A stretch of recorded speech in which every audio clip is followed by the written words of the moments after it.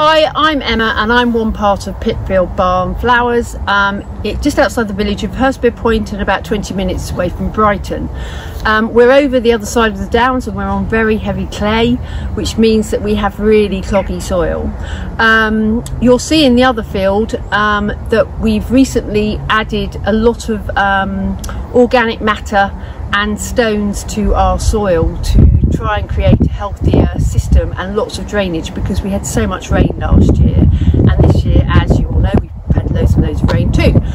Um, this field was a complete blank canvas so we've created new beds and we've started by um, adding stones, mushroom compost in a lot of it and organic uh, green waste compost. So um, it's a bit of a learning curve because basically we didn't know whether anything could grow, but touchwood things seem to have come up nicely and uh, we've learned that we're going to have to create windbreaks and um, add some extra wind protection here. Um, the weather is changing all the time and so we are adding a lot of drainage to other beds uh, which you'll see a little bit later as we walk around. Um, so come with me.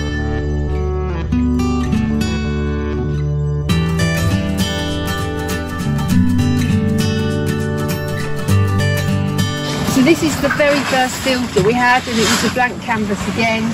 Um, last year, as I said, we've meant, added in lots of uh, drainage to allow for all the water because we're on a very slight um, hill, uh, which you can't really see, but you can tell when all the water drains down. So um, this has really helped, but we're adding more and more and I'll just take you through to the last bit that we're doing.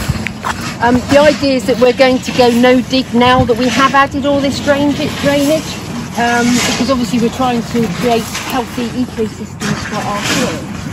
Um, but this is the latest bit here that we've added a lot of drainage to because this was waterlogged about a couple of weeks ago and all the lovely plants we had in there um, didn't like it. So um, this is going to work much better.